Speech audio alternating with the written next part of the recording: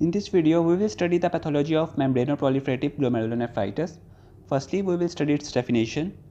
Then we will see its pathogenesis and clinical features. Then we will learn its morphology in details. So membranoproliferative glomerulonephritis is a type of glomerulonephritis that involves thickening of basement membrane and proliferation of cells inside the capillary loops. That's why it is known as membranoproliferative.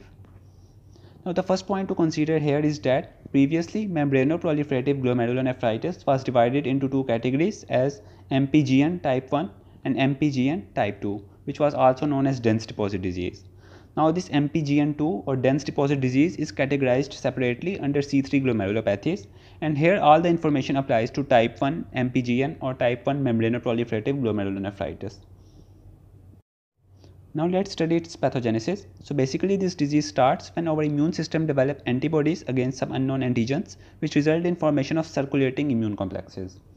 Now these circulating immune complexes that are formed in membranoproliferative glomerulonephritis have more affinity to bind to the glomerular basement membrane at subendothelial location. So this result in formation of subendothelial glomerular deposits. Now recall that in membranous nephropathy we studied that the formation of these glomerular deposits was subepithelial in location, but in membranoproliferative glomerulonephritis these immune deposits are formed at subendothelial side. So up to now, this is the first important difference between membranous nephropathy and this disease, membranoproliferative glomerulonephritis. Now these subendothelial glomerular deposits that are composed of antigen and antibodies mediate the activation of complement system pathway because you know that one of the functions of IgG antibodies is to activate the classical pathway of complement activation.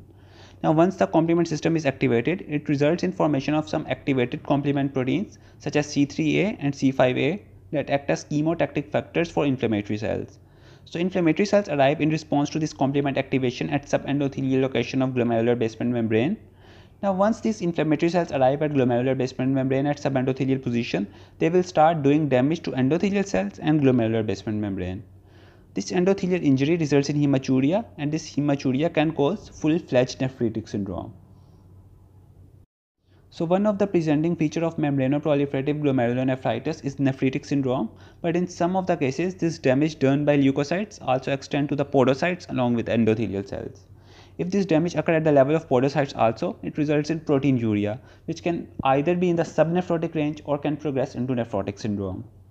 So in some cases of membranoproliferative glomerulonephritis, there can be nephrotic syndrome as well as nephritic syndrome and sometimes there is isolated hematuria or proteinuria without nephrotic and nephritic syndrome.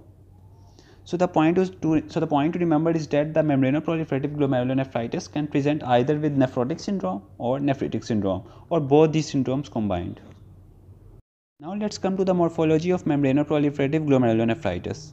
In this disease, we also study three features that are light microscopy, electron microscopy, and immunofluorescence. For light microscopy, the keywords to remember are membrano, proliferative glomerular deposits and itis. You know that the name of this disease is membranoproliferative glomerulonephritis. So the keywords are very similar to this, this disease that membranoproliferative glomerular deposits and itis. The first keyword is membrane. So this will appear on light microscopy as thickened glomerular basement membrane. Second keyword is proliferative which means that there will be proliferation of endothelial cells and mesangial cells. So you will see thickened basement membrane with proliferating endothelial and mesangial cells. Now when the mesangial cells are being proliferated, some processes or extensions of mesangial cells get interposed inside the basement membrane and causes splitting of basement membrane. This splitting of glomerular basement membrane creates double contour which is known as tram track appearance. For example, if there is a normal basement membrane, then in membranoproliferative glomerulonephritis, the basement membrane will be thickened and splitted like this giving resemblance to a railway track or double contours. Next keywords are glomerular deposits. So on light microscopy you will see subendothelial deposits. And the last keyword is itis. So you will see inflammatory cells that are neutrophils and monocytes.